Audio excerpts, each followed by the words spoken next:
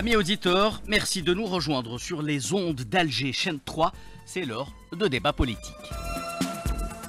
J-5 avant le coup d'envoi officiel de la campagne électorale pour la présidentielle du 7 septembre.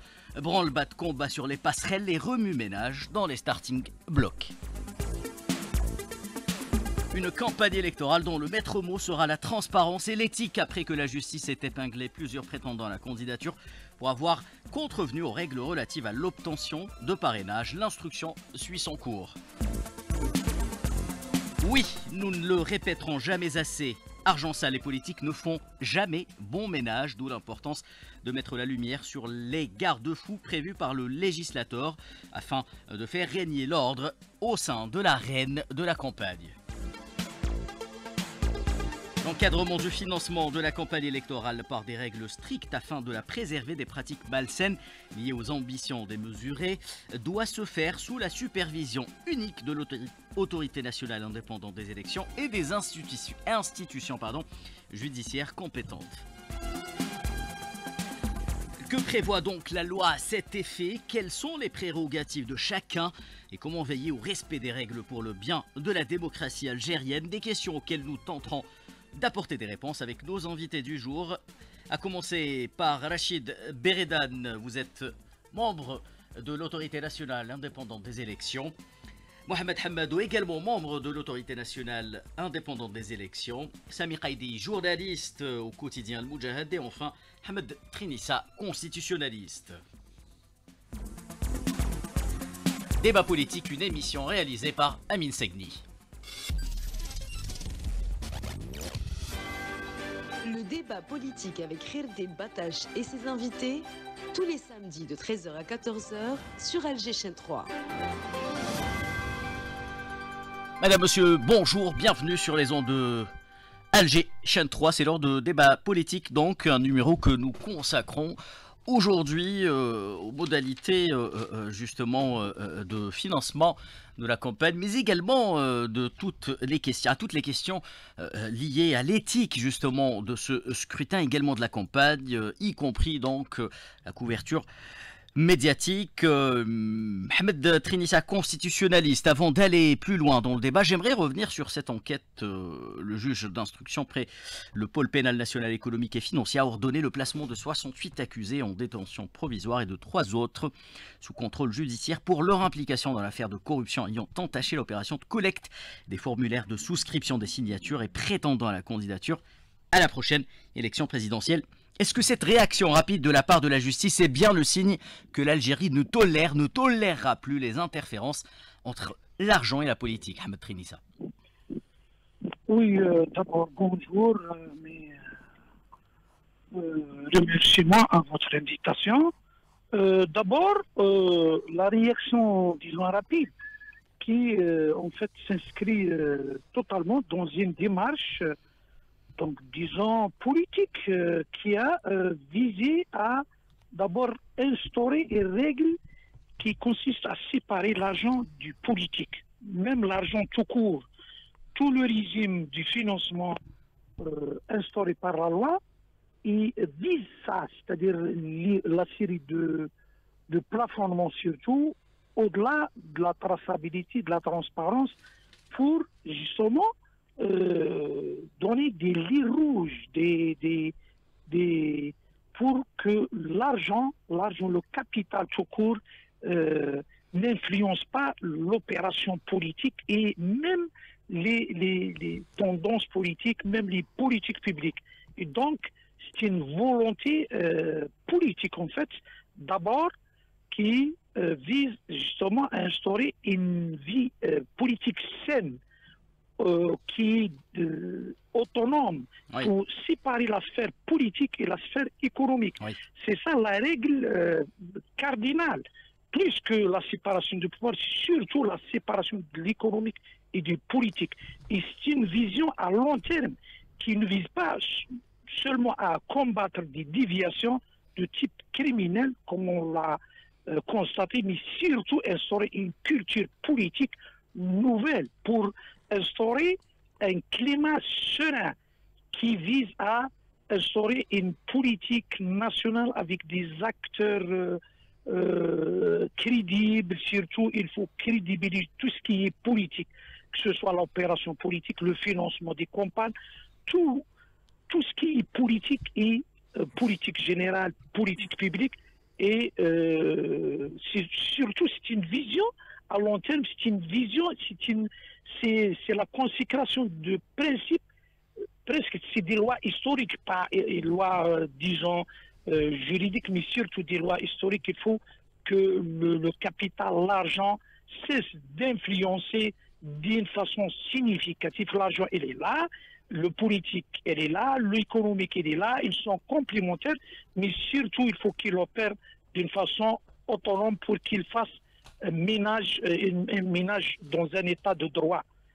Donc, euh, surtout ça, c'est pour surtout rappeler le principe cardinal de la séparation du politique et de l'économique, la séparation de l'argent, l'argent tout court, même. Euh, l'argent sale, c'est déjà, on est dans le, euh, le, le, criminel, mais avant même de criminaliser, il faut qu'on instaure cette politique, cette vision, cette éthique, disons, qui, euh, qui fondateur de l'axe politique. Merci Ahmed Trédissa, restez avec nous. Samir Haïdi, alors nous avons ici même euh, évoqué à maintes reprises la nécessité de sauvegarder la crédibilité de l'élection présidentielle par tous les moyens. Quel signal est selon vous envoyé par la justice algérienne dans cette affaire? Écoutez mon cher euh, confrère, c'est un signal fort qui vient d'être envoyé par la, euh, par la justice nationale qui vient de frapper d'une main de fer pour euh, préserver la transparence et euh, la, bonne tenue de ces élections qui sont décisives pour, euh, pour le pays. Et par conséquent, je, il faudrait souligner le fait que la, justice s'est autosaisie, qu'elle a placé euh, qu'elle a placé certains en, euh, sous contrôle judiciaire, d'autres ont été mis en détention. L'instruction est en cours, bien entendu. L'instruction est en euh, cours. il, y a une, enquête préliminaire, mais la justice n'a pas perdu de temps. Il, faudrait le, souligner. Voilà, tout à fait. Et c'est extrêmement positif parce que on voit que cette Algérie nouvelle a mûri et a donné ses fruits. C'est-à-dire que ce qui était en 2019 mis euh, euh, sur, le, marbre et ce qui a été constitutionnalisé en 2020 est appliqué à la lettre euh, en 2024. Oui, très bien. Très bien, merci Sami Qaidi. Mohamed Hamadou, alors la crédibilité de l'élection présidentielle, c'est aussi, c'est aussi celle de l'année à travers ces révélations. La justice valorise tout simplement le rôle de garant du bon déroulement du scrutin de l'autorité nationale indépendante des élections. Merci. Vous savez que le, pouvoir judiciaire est là pour, euh, euh, faire son travail de la meilleure façon qu'il faut. Et à chaque fois qu'il y a une atteinte aux lois de la République, il est là pour engager son travail dans le sens d'appréhender tout auteur d'infraction à la loi et le, plus, euh, le mieux possible, le plus rapidement possible, parce qu'il y va de sa crédibilité, la crédibilité de la justice, il y va aussi de la sauvegarde de l'ordre public, il y va aussi de l'application et de l'exécution de son rôle, qui est de protéger la société de toute déviation, quelle que soit cette déviation. Et dans le cas d'espèce, la justice a fait son travail, l'affaire elle est entre ses mains, le juge d'instruction est en train de faire son travail, il, va, il y a un autre palier qui va intervenir, c'est celui du stade du jugement, et bon, et à partir de là, les, avec toute la garantie qu'apporte un procès pénal équitable pour les justiciables et pour les, inculpés, les accusés par ailleurs, et qui vont avoir euh, le droit à la défense et le, droit à faire des recours comme la loi le stipule. Rachid Beladan, quels enseignements pouvons-nous tirer peut-être de cette affaire sur le plan politique, purement politique? Euh, D'abord, je tiens à vous remercier pour l'invitation. Je salue vos invités, je, salue vos auditeurs. Pour répondre à votre question, je tiens à rappeler que l'ANI a, a tracé deux objectifs phares. Le premier, c'est la lutte contre la fraude. Et le deuxième objectif, c'est la lutte contre l'argent sale, qui peut affecter les élections. Le, si on revient à la loi, la loi organique, donc le 2101, oui. Euh, l'article premier de la loi euh, organique consolide euh, euh, met l'accent sur la moralisation de la vie politique. Si on revient un peu en arrière, pour, le, dossier que le, candidat à la candidature doit déposer au niveau de l'ANI, l'article 249 oblige le, candidat à la candidature de signer un engagement, un engagement écrit de respecter la Constitution et les lois en vigueur. Donc l'article 249 nous renvoie à l'article 9 de la, Constitution qui stipule que les institutions de l'État ont pour finalité la, garantie et la transparence dans la gestion des affaires publiques. Donc la loi organique 2101 euh, relative au régime électoral a pour objectif de rompre avec les anciennes pratiques et garantir la régularité et la transparence des, élections espérées par, le peuple depuis, depuis l'indépendance. Dans ce, sens, l'ANI, à travers un communiqué, a rappelé à tous les candidats les règles juridiques et les dispositions relatives au financement de la campagne électorale que chacun des candidats doit, doit respecter. Et ce, dans, dans, le, dans le but d'abord de garantir la transparence et la légitimité du, du, financement de la campagne, faciliter le contrôle des recettes et dépenses, un contrôle rigoureux, rigoureux et efficace afin de faciliter la, la traçabilité des, des, sources de fonds. Merci Rachid Benedan. Samir Kaidi, euh, peut-être une dernière question avant de, refermer ce, ce, sujet. À quel point tout simplement est-il, selon vous, important de mettre la lumière rapidement sur ce genre d'abus? Alors c'est extrêmement importante pour la, euh, pour la, simple et bonne raison que de, il en va de la, de la crédibilité du scrutin. Donc pour essayer de, de tuer dans l'œuf toute tentative de, de, je, de, je veux dire, de remise en cause de la transparence de ce scrutin, il faut frapper fort et vite. Et c'est ce que euh, a fait le, euh, le pôle euh, national pénal économique et financier, en activant l'article 11, exactement, l'article 11 du code de, procédure pénale et qui a rapidement mis les choses en place. Par ailleurs, il y a hier un communiqué aussi qui a été, qui a été rendu public par le président de campagne du candidat indépendant, M. Abdelmajid Tebboune, donc en l'occurrence M. Brahim Merad, qui a rappeler que euh, en, mettant en place les structures de sa campagne, que euh, toutes les collectes de euh, toutes les collectes de de, fonds, ne sont absolument pas de l'ordre du, du, candidat Tebboune. Par ailleurs, par conséquent, toute, toute, toute personne qui qui, qui, éventuellement prétend, oui, voilà, ou prétend avoir collecté au nom du candidat, du candidat euh, Monsieur Tebboune, collecter des fonds, euh, le fait dans, euh, l'illégalité, et je suppose que la justice s'autosaisira également.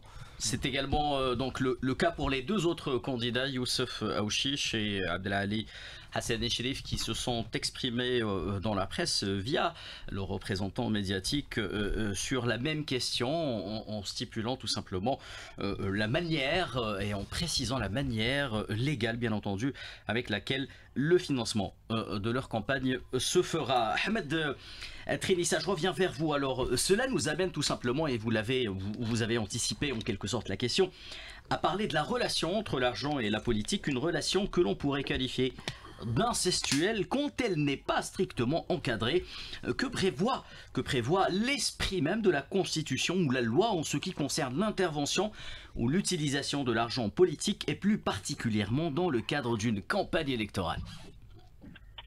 Oui, l'argent est là pour justement financer, pour financer la campagne. C'est pas euh, une opportunité pour, une opportunité pour euh, s'enrichir. C'était le cas avant, avant le, 2019.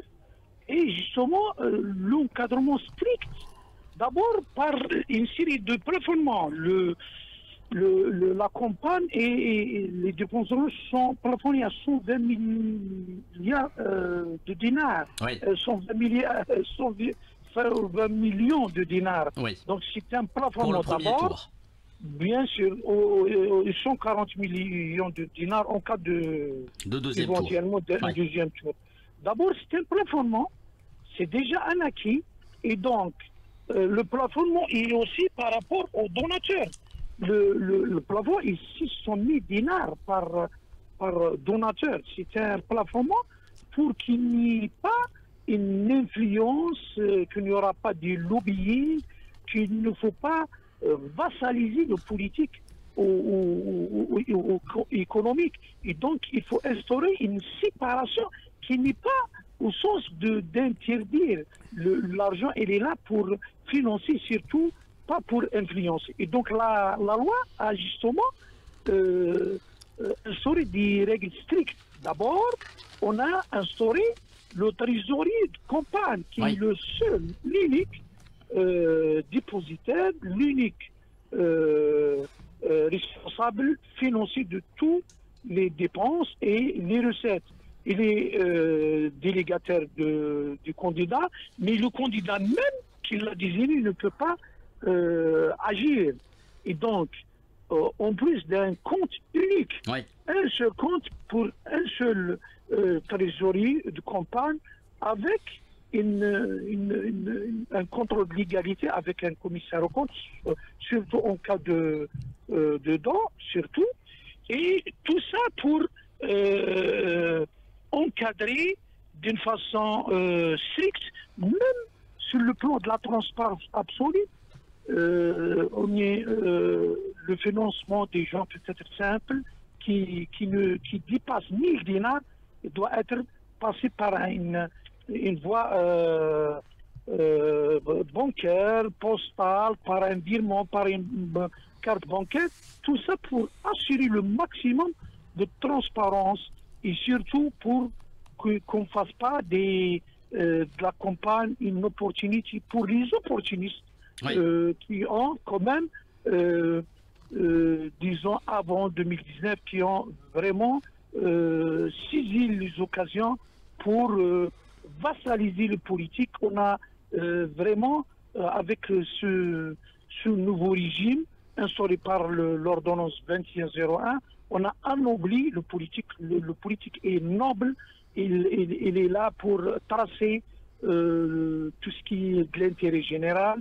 Et donc, ça, c'est pour protéger l'intérêt général, l'intérêt national, qui a été un, moment donné l'histoire d'Algérie.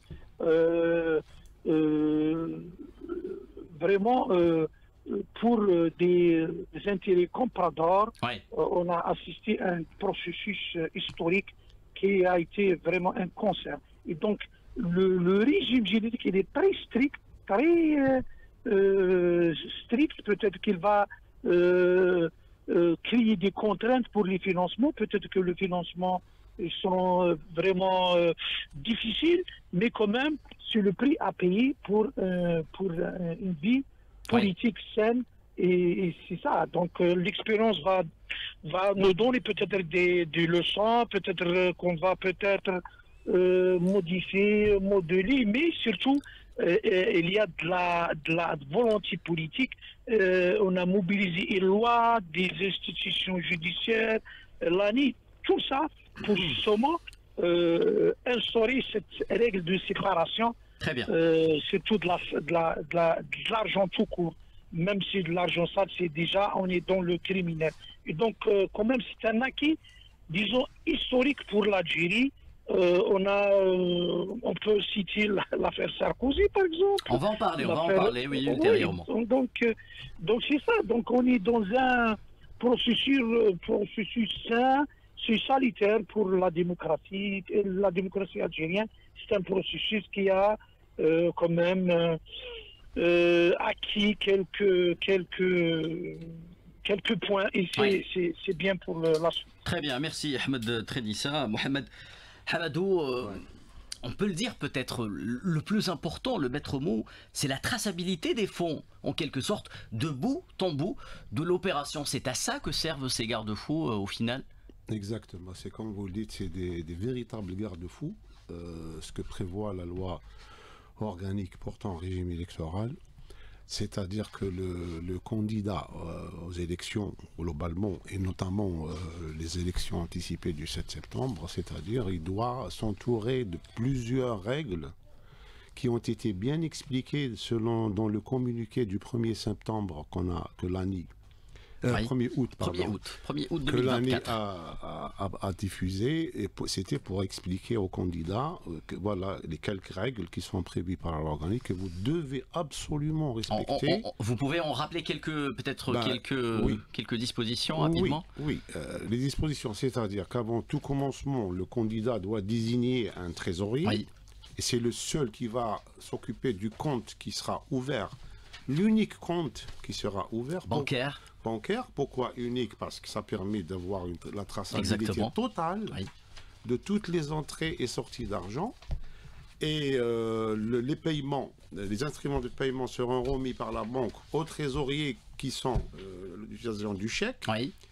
Et tous euh, les dons sont plafonnés à 600 000 dinars par personne euh, physique et pas de dons de personne morale, pas de dons de, de, de, de l'étranger. Ça, c'est interdit. C'est important. Carrément. C'est important. Le plafond total de- des dépenses que peut engager le candidat, c'est c'est 120 millions de dinars, comme l'avait dit tout à l'heure Ahmed notre dit ça, oui. intervenant. 120 millions de dinars, il ne doit pas les dépasser. Sous peine Dans le cas du premier tour, dans le cas du premier tour, 140 deuxième tour, millions de 140 dinars, ça, ouais, donc oui. 20, 20 20 millions supplémentaires pour le deuxième tour. Et, et s'il y a dépassement, c'est dépend du, candidat ouais. qui va euh, les voir. débourser de sa Exactement. poche et qui ne bénéficiera pas de, Du remboursement. de remboursement Prévu de- par l'État. Prévu par l'État. Voilà. bien. Globalement, c'est ça. Rachid euh, Beredad, même question. euh, la traçabilité, c'est ça le maître mot, au fond, euh, d'une opération que l'on doit contrôler de bout en bout pour éviter toutes sortes d'abus.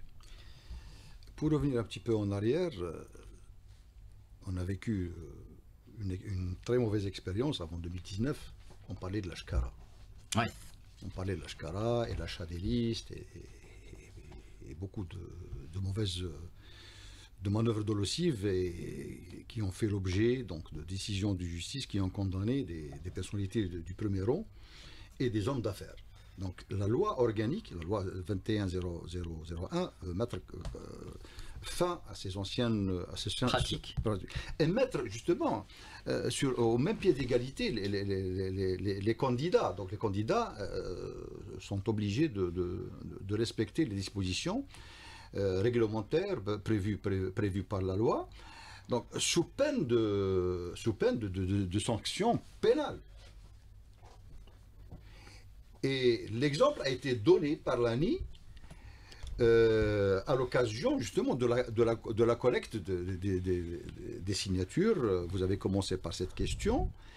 Euh, L'application qui a été mise en place par l'ANI a pu, donc, euh, a, permis à, l'ANI de, sa- de, de- de- de- de savoir si ces candidats à la candidature respectent la réglementation. Parce que quand on parle de l'argent sale, c'est tout au long du processus, pas uniquement le jour du, vo- du vote ou euh, pendant la campagne électorale.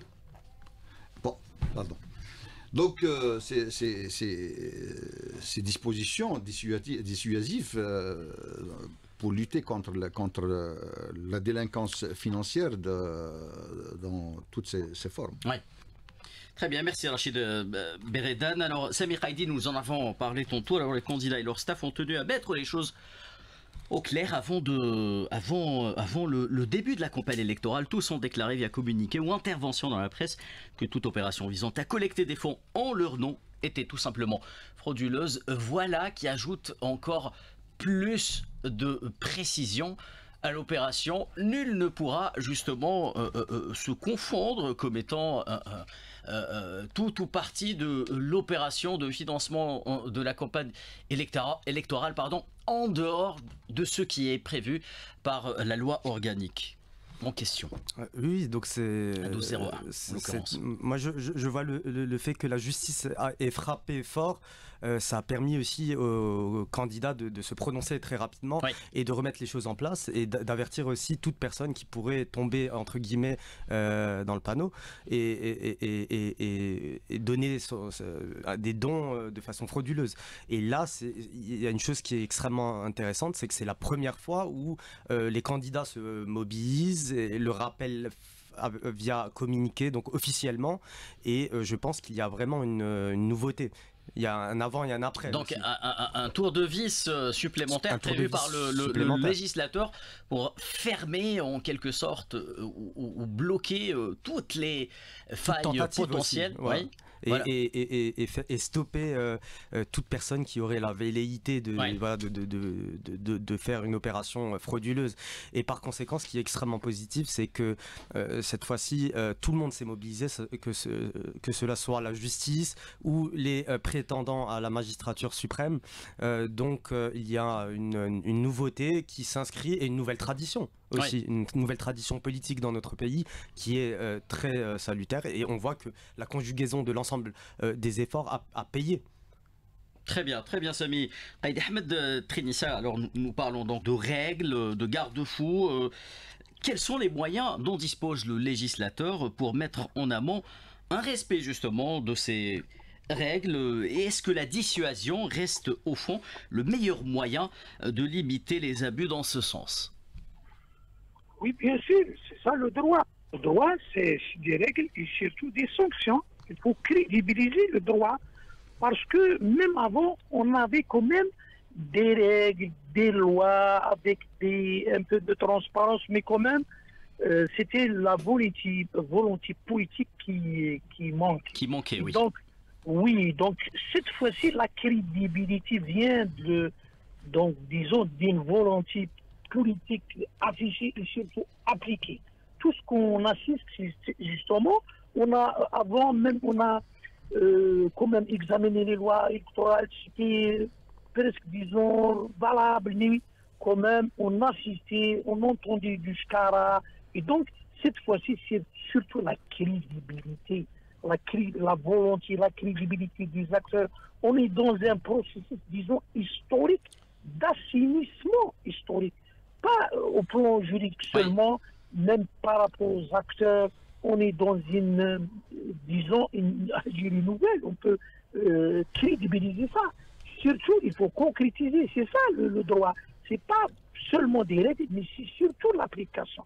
Et on assiste justement à cette crédibilité par l'application de la loi, toute la loi, seulement la loi, euh, et surtout, euh, ça donne euh, du couleur à la, à, la, à, la, démocratie. On a besoin.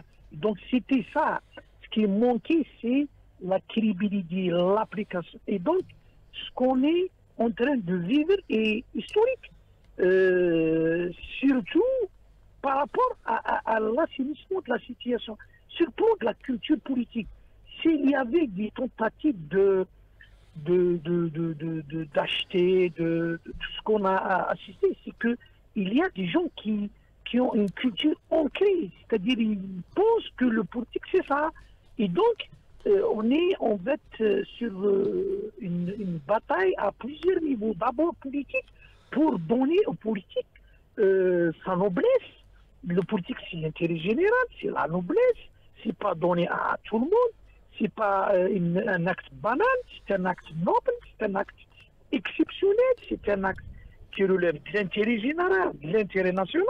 C'est pas, euh, c'est pas des, les prétentions ou, les ambitions personnelles euh, mal définies. et donc, on est dans un processus de crédibilisation. Et donc, on est avec des signes très forts, que ce soit par rapport à l'anime, euh, à la justice, euh, aux acteurs politiques, à cette volonté politique, euh, même exprimée hier, avant-hier, par, les, par les, directeurs de campagne pour dire qu'on est dans un processus d'assainissement, on est là pour assainir, pour assister à une rupture réelle avec les pratiques, ici pour des conceptions, disons, illimitées des pratiques. Donc, euh, voilà un processus euh, net qui euh, instaure une nouvelle phase, disons, qualitative, nette, assignée, avec des candidats crédibles, avec une scène politique crédible, avec une transparence qui va nous donner l'occasion de parler des politiques publiques, des programmes et sortir de cette, ce labyrinthe historique, ce, ce concept qu'on a euh, quand même, euh, qu'on nous a euh, qu'on a, qu'il a touché, qui a Oui, décrédibilisé les institutions. durant une Euh, période avant. donnée, oui. Oui. Merci, merci Ahmed Trinissa. Alors vous écoutez Alger Chaîne 3, il est 13h30. Le débat politique avec Khirde Batache et ses invités, tous les samedis de 13h à 14h sur Alger Chaîne 3. Débat politique, mesdames et messieurs, si vous venez de nous rejoindre, soyez les bienvenus. Nous parlons élection présidentielle et financement de campagne euh, avec euh, nos invités, euh, euh, Rachid Beredan, euh, membre de l'ANI, euh, Mohamed Hamadou, membre également de l'ANI, Samir Qaidi, journaliste au quotidien Al-Moujahid, Ahmed Trinissa, constitutionnaliste. Euh, Messieurs, euh, messieurs Rachid Beredan et Mohamed, euh, Mohamed Hamadou, quels sont tout simplement les moyens dont dispose aujourd'hui l'ANI pour garantir le respect des règles mises en place pendant la période de la campagne, ainsi que le contrôle des sources de financement, mais également des dépenses, qui est aussi un autre sujet important. Je, je peux revenir sur la, Oui. la collecte de, de dons De dons. d'une manière frauduleuse. Et là, le code pénal, il, il punit sévèrement toute infraction qui va dans ce sens. C'est-à-dire que même euh, le code pénal, il existe une disposition qui punit frauduleusement.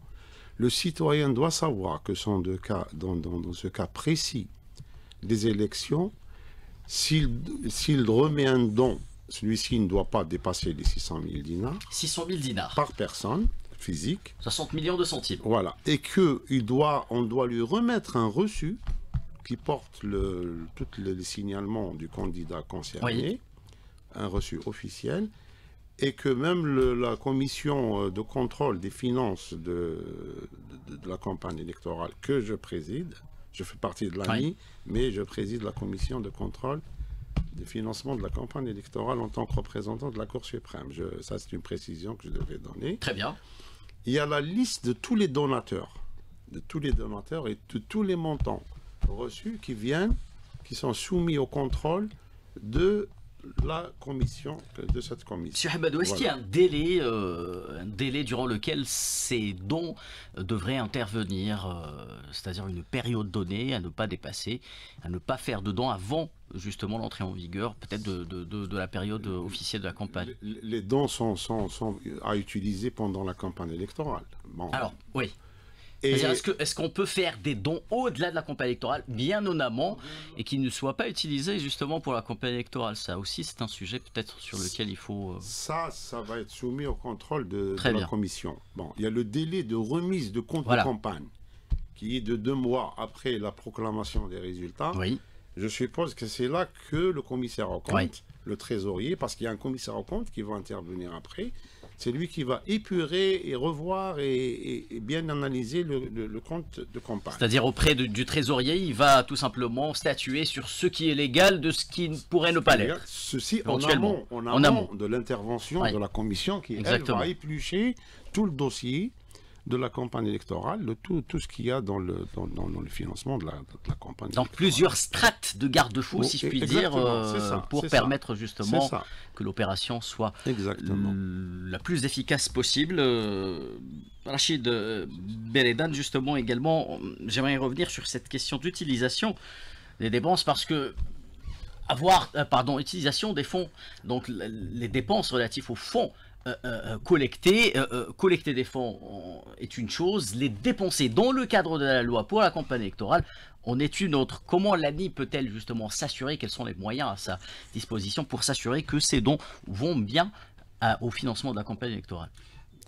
Donc je reviens sur ce qu'a dit Monsieur Hamadou, oui. Ahmadou, donc sur la, la- la loi organique euh, 2101, donc en plus des dispositions juridiques, il a mis en, en place un organe de contrôle, donc qui est la, la- la- la commission, donc euh, la commission de contrôle des, du financement de, de la, campagne. Euh, euh, euh, vu sa composition. Donc Monsieur Hamadou est membre, rappelons-le. et- et Ouais. président. Et président. Non, Ouais. donc l'article 115 de, de la loi donc, parle de la composition. Il est composé d'un magistrat désigné par la Cour suprême, d'un magistrat désigné par le Conseil d'État, un magistrat désigné par la Cour des comptes, un représentant de la haute autorité de transparence et de prévention euh, et lutte la contre la, la corruption Oui. et d'un représentant du ministre, du, du- du ministre euh, des Finances. donc, euh, la loi parle d'un certain nombre de dispositions donc, où le, candidat est obligé de nommer un trésorier de, la campagne. Ce, ce, trésorier, donc c'est lui qui gère qui, gère les, comptes, donc qui collecte les, dons. en l'occurrence, le compte. Il s'agit d'un compte unique. Il y a un seul compte. Un seul compte unique. Qui est, qui est au nom du, candidat, mais il est géré euh, euh, il est géré personnellement donc par, par, par ce trésorier. Il n'a pas le droit de donner un mandat même au, candidat. Une question subsidiaire, est-ce que ce compte devra être clôturé à la fin de, de Oui, bien sûr, naturellement. Donc, en plus de ces dispositions, il y a d'autres, euh, textes de loi qui, qui, permettent de faciliter la, tâche de, la commission de contrôle. Je peux parler du décret exécutif numéro 21 188 du 5 mai 2021 qui définit les conditions de délivrance de reçus remis aux, donateurs. voilà. Donc là, le, trésorier de, la campagne est obligé de, donner un reçu. Donc c'est un moyen, c'est une preuve. Et pour le, candidat, pour le, pour trésorier et le candidat, et pour le, donateur. Donc il fait foi. Donc là, je reviens à votre question. Donc, il faut revenir, il faut voir la date du, reçu, parce que le, le, don ne doit pas être donné avant ou, après. après.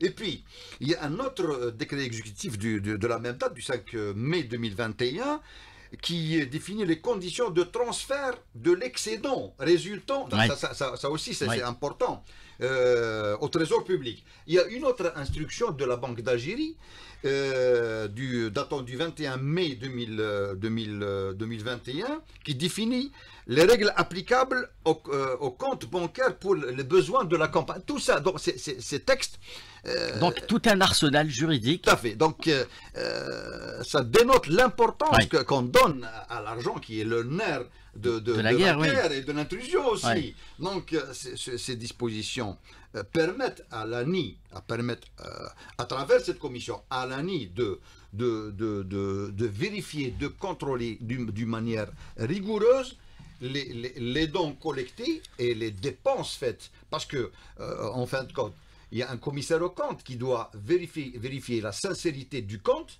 et, présenter, et présenter le compte à la commission. Et cette commission, elle doit, à, la fin de, la fin de, de, son exercice, doit, doit, présenter un rapport au conseil de, de, l'ANI oui. pour, euh, pour validation. Donc c'est des étapes euh, qui permettent donc euh, de contrôler de près euh, cet argent qui, de très près là, qui, sert à, qui sert au financement de, la campagne électorale. Merci, euh, Monsieur Beredan. Samir Haïdé, alors, à, travers de telles mesures, l'Algérie euh, cherche-t-elle à donner l'exemple au sujet de la transparence et le respect des règles en amont, pendant et en aval de ces élections, notamment lorsque l'on sait que les pratiques subversives en la matière inondent le monde. Je me contenterai peut-être de citer, euh, à titre d'exemple, deux affaires de financement frauduleux de campagne pour lesquelles un ancien président français, souvenez-vous, euh, euh, a été inculpé et poursuivi en justice, à savoir les affaires dites Big Malion et, celles du financement libyen, ou plus, récemment les affaires d'un certain Donald Trump, Trump qui a essayé d'être euh, d'influencer autrement le cours de l'élection si un président américain actuel candidat à une accession à la Maison Blanche. Oui, tout à fait. Donc, euh, par euh, l'addition de l'ensemble de ces moyens humains et matériels, et juridiques notamment, l'Algérie est en train de, maximiser l'ensemble des chances pour euh, la réussite totale de cette prochaine échéance, qui est l'élection présidentielle du 7 septembre. Et effectivement, vous avez souligné quelque chose d'extrêmement intéressant, c'est que l'argent sale, a, notamment dans plusieurs pays occidentaux, a on, peut dire cela comme ça, travesti le résultat des élections. Vous avez cité par exemple Donald Trump, et c'est extrêmement vrai parce que euh, euh, il y a tout juste un an, il a été poursuivi par euh, plusieurs juridictions aux États-Unis pour avoir tenté d'influencer le cours de l'élection. et même d'inverser le score des élections, notamment dans l'État de Géorgie. Il a par ailleurs été condamné pour pour complot contre l'État américain. Donc Donald Trump qui est un richissime homme d'affaires, appelons-le. un milliardaire. milliardaire. Voilà. Et en France et, en Espagne aussi. Il y a eu plusieurs épisodes de euh, tentatives de corruption massive, de surfacturation des campagnes. Notamment, vous venez de citer Big Malion, c'est ça? C'est euh, une, une, affaire, de, de, surfacturation, de, surfacturation de l'ordre de 20 millions d'euros. Tout à fait. parce que Big Malion, c'est le nom d'une agence de communication, etc., qui a surfacturé la campagne, notamment aussi du de l'UMP, l'ex-UMP, qui est actuellement les Républicains.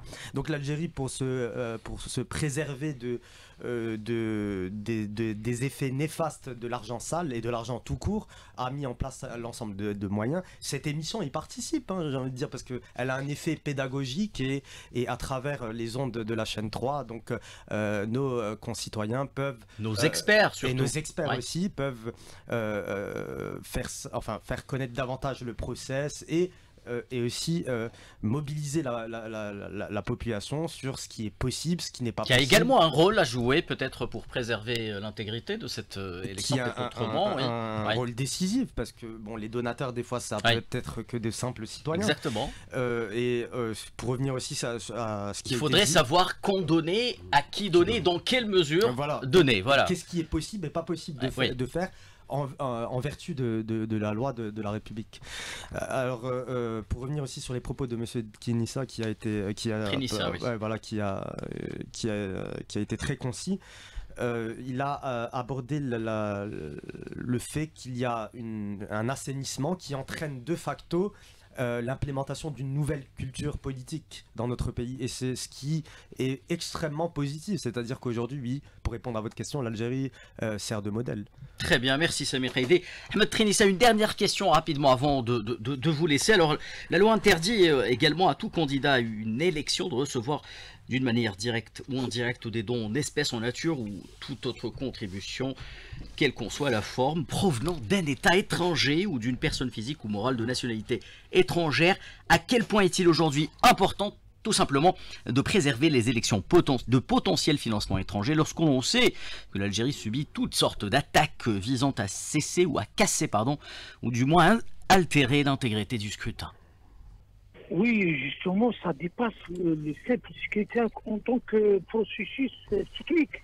C'est surtout euh, comment préserver la souveraineté de l'État. L'État, c'est de euh, sécuriser, sécuriser l'État et on a assisté à ce qu'on a appelé le printemps arabe à des États qui ont été presque euh, démolis à travers des financements extérieurs avec des partis d'extérieur. Euh, je ne citerai pas des exemples parce qu'on. Euh, oui, de préférence. oui, oui, bien sûr. Pourquoi? Justement, euh, c'est surtout cette intervention des puissances extérieures par les financements, par, par d'autres moyens, mais surtout à l'origine par des financements justement de type politique. Ce n'est pas des financements d'investissement, mais surtout l'Algérie, euh, avec cette règle d'interdiction totale, justement pour préserver le processus, euh, disons, politique, tout court, pour préserver les institutions souveraines, c'est pour préserver la souveraineté du peuple algérien, l'État algérien. Et donc cette interdiction, elle est est très justifié et surtout par rapport à l'exemple avec tout ce qu'on vit euh, dans la région et au-delà de la région, de ce financement, surtout des États, qui va à la dislocation des États et surtout euh, pour euh, justement cette souveraineté, on est dans un processus souverain. les élections, c'est un moment de souveraineté et donc il faut le préserver l'AMI, elle est là, la justice, elle est là, c'est des institutions souveraines pour préserver la souveraineté algérienne de l'État et du peuple. Et donc, c'est une règle absolue qui ne s'ouvre d'aucune ambiguïté et ça donne raison à, l'Algérie, à l'État, au pouvoir politique algérien pour euh, justement donner l'exemple comment être souverain, surtout euh, rompre avec les liens de dépendance de toute matière. Pourquoi? Parce que ça vassalise les États on est dans un processus de mondialisation malheureux sur le plan politique et géopolitique. Et on le voit, on le voit, et on le vit euh, quotidiennement. Et donc, c'est un acte salvateur, c'est un acte de souveraineté, c'est un acte euh, pour dire qu'on est souverain, qu'on est autonome, qu'on est l'Algérie a une autonomie stratégique, politique, elle est souverain dans tous les, moments et surtout le moment d'élection, il faut le préserver, il faut préserver l'Algérie, peuple, nation et société de toutes les de vassalisation, d'influence et euh, de tout coup. Très bien, merci Ahmed euh, Trénissa. Peut-être euh, rapidement, oui, euh, Samir Haïdi, vous vouliez intervenir. Oui, non, Je remercie avant Ahmed Trénissa, constitutionnaliste qui nous a accompagnés tout au long de cette émission. Merci à vous. Oui, dans, cette droite ligne, la vigilance est de mise. Euh, euh, ça n'échappe à personne que nous vivons une période de restructuration euh, de la scène euh, Les géopolitique rapports de internationale. force également, oui. Tout à fait, et l'Algérie en, en sa qualité de chef de file aussi de, euh, de, de- de pays non alignés, de pays profondément souverainistes, qui euh, a une politique ambitieuse de défense des côtes justes et honorable et Oui. courageuse, est visée par euh, plusieurs plans de déstabilisation et on peut constater que les élections font partie aussi Oui. des moyens de déstabiliser des pays. En Il effet. suffit juste de, de voir ce qui se passe actuellement au Venezuela. Ouais, en Voilà. effet. En effet, merci de le rappeler, euh, Sami Raidi, euh, le Venezuela, qui subit une nouvelle, malheureusement, tentative de déstabilisation de l'intérieur à la suite euh, euh, des résultats de la dernière présidentielle. Refermons la parenthèse et ouvrons une autre pour parler justement d'élections et de médias. Également, un sujet euh, tout aussi euh, sensible. Euh, alors, l'ANI tient aujourd'hui justement une, réunion. elle y a convié la presse pour assister justement au tirage au sort relatif à la distribution des quotas de temps de parole dans les médias. Alors, monsieur, monsieur Beradan, monsieur également Hamadou, comment appréhendez-vous au sein de l'ANI cette question justement euh, de la relation entre euh, euh, les candidats et, les médias dans le cadre de la campagne électorale Monsieur. Euh, merci de poser cette question. C'est un sujet très important car il s'agit de parler des rôles des médias dans la couverture des, élections. Je tiens à rappeler qu'en plus de la, réglementation, donc du texte de, loi, l'ordonnance 2101, Oui. le président de l'ANI, euh, Monsieur Mohamed Chorfi. Donc a, a signé des, des décisions, des décisions concernant ce, ce- ce- ce sujet très important. Il s'agit euh, d'une décision du 17, euh, du- numéro 17 du euh, 15 juillet 2024 et une autre du euh, portant numéro 36 du, du 4 août euh, 2004. Donc la première, la première euh, décision, donc, euh, elle porte sur, euh, sur, le, sur le, la- celle du, du 15, 15 juillet 15 juillet Donc, 2024, elle fixe oui. les modalités et procédures d'accès aux médias audiovisuels et de couverture médiatique des candidats à, à la présidentielle anticipée du 7, du 7 9 2000, euh, 2024. La deuxième, donc, elle fixe les règles sur le, le tirage de sort. Donc, qu'on Tirage au sort qui aura lieu aujourd'hui, je le rappelle, à aujourd'hui 15h à 15 au heures, et CIC je crois que-. Justement, qui a été, euh, je crois que, le- que le- les médias sont, sont, Sont conviés, sont oui. conviés Naturellement. à assister pour plus de transparence, Oui, justement. voilà. Voilà. Et je tiens aussi à rappeler que le- l'ANI en 2019, à, de- en 2019, à l'occasion des, des- des élections présidentielles, a, a- fait signer une charte d'éthique euh, pour, les, médias. euh, parce que l'ANI considère, euh, les médias comme, un, partenaire très très important vu le, le rôle que le- le- jouent les, les médias, donc le- je parle des médias, donc je parle des Nationaux. les nationaux, Oui. euh, euh, euh, que, soit- que ce soit public ou, ou- Ou privé. au privé. Oui. Et par la même occasion aussi, euh, euh, il faut rappeler que- qu'il y a une commission qui a été installée juste pour l'accrédita- l'accréditation Accréditation. des, des, des, des, des médias euh, Étrangers. médias étrangers. Euh, et je tiens à préciser qu'il y a eu beaucoup de demandes parce que l'ANI a cumulé une expérience, une expérience, une bonne expérience, Oui. et, et surtout une crédibilité dans la gestion des, des- des opérations, des opérations euh, électorales. Et par la même occasion, pour revenir à, à votre question, c'est que l'ANI est sollicité maintenant pour superviser les élections à travers le monde. Exactement. C'est un, acquis très, important. Donc, pour revenir à- aux, médias, le- les médias qui ont un mandat d'informer les citoyens euh, sur les candidats, sur le, programme, euh, donc, euh, ils contribuent à la formation de l'opinion publique électorale.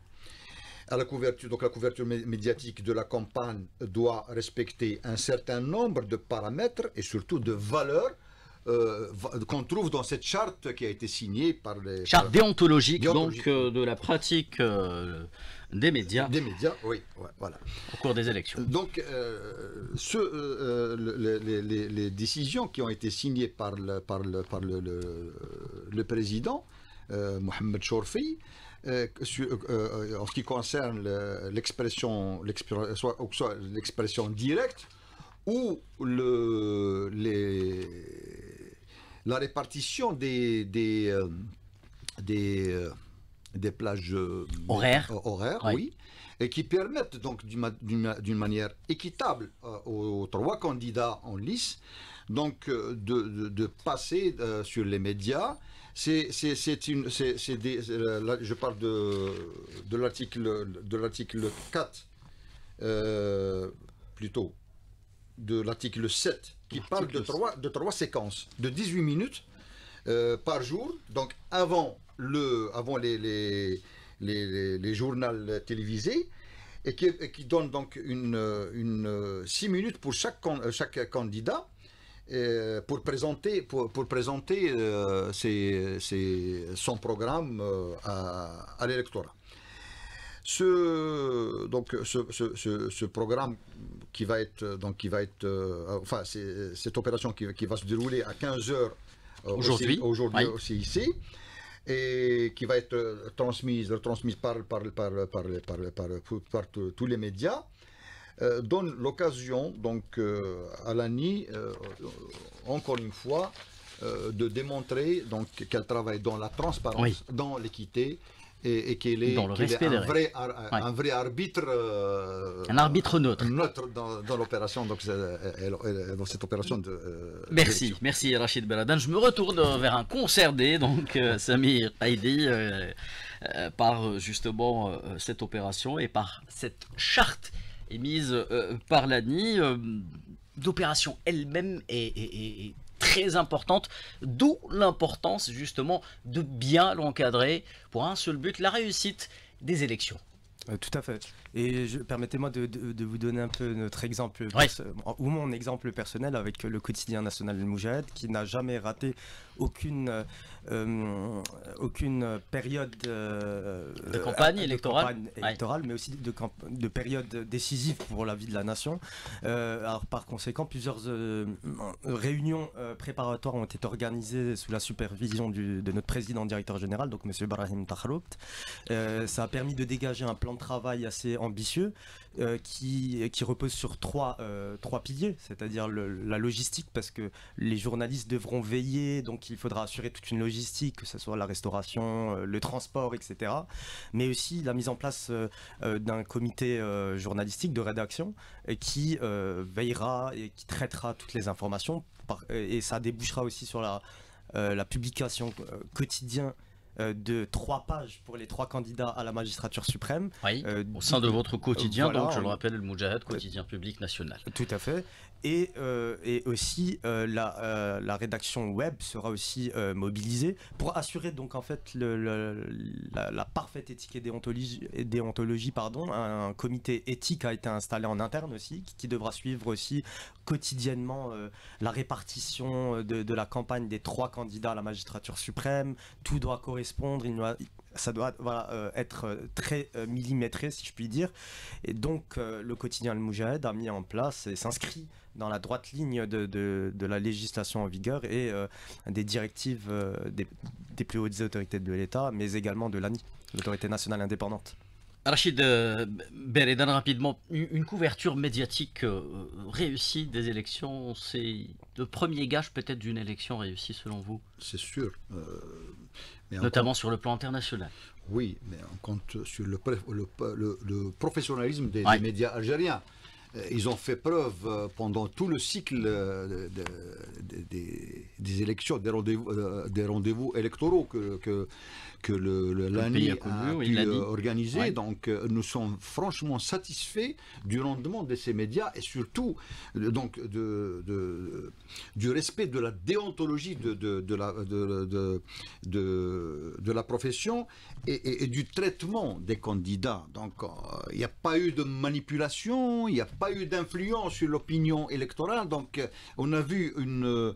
et je parle des, des, médias lourds, comme je parle des, des, des, euh, des, journaux euh, donc, électroniques, parce qu'il y a aussi une commission qui fait le suivi donc, euh, de la presse écrite, électronique, et, c'est des commissions qui, présentent des, rapports qui nous permettent d'évaluer donc le, travail fourni par, ces médias. C'est vrai, tous les regards sont braqués sur, sur, sur, sur l'Algérie. Il ne faut pas oublier que le, ces, ces, élections présidentielles euh, se tiennent dans des conditions géopolitiques un peu, un peu, un, peu spéciales. Exceptionnelles. Donc, euh, c'est, euh, on fait appel au, au, professionnalisme des, des, médias algériens pour donner le meilleur d'eux-mêmes. Très bien. Dernier mot peut-être, Samir Haïdé, avant de rendre l'antenne. Qu'attendez-vous vous, journalistes, des journalistes justement euh, algériens étrangers, euh, par rapport à, ces élections, pardon, à cette campagne, la couverture de cette campagne électorale Alors euh, voilà, je n'ai aucun doute sur le professionnalisme de, mes confrères qui feront le, maximum pour assurer la réussite parfaite de ce scrutin décisif.